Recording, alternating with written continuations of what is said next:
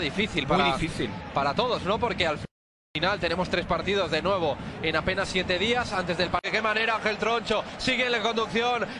Intenta armar el contragolpe y el balón hacia la banda izquierda. Sube también. Por ejemplo, expulsiones, uf, la de Sergi Enrique, la de Luis Muñoz en el Málaga, para- tremendas esas expulsiones. Un pie derecho que la pones donde quiera.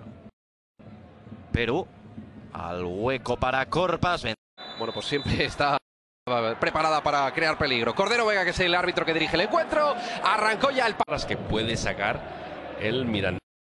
Y aquí en este caso, fíjate que han sido parecidas, ¿eh?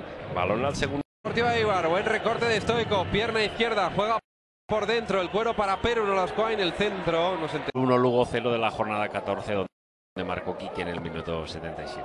Y de penalti diría, si no exceso, achicando agua, nunca mejor dicho hoy, cuando el avance de Eibar es productivo por la izquierda. Del arquero francés de su juego de pies. no sé de quién habrá aprendido. ¡Qué barbaridad! Bueno.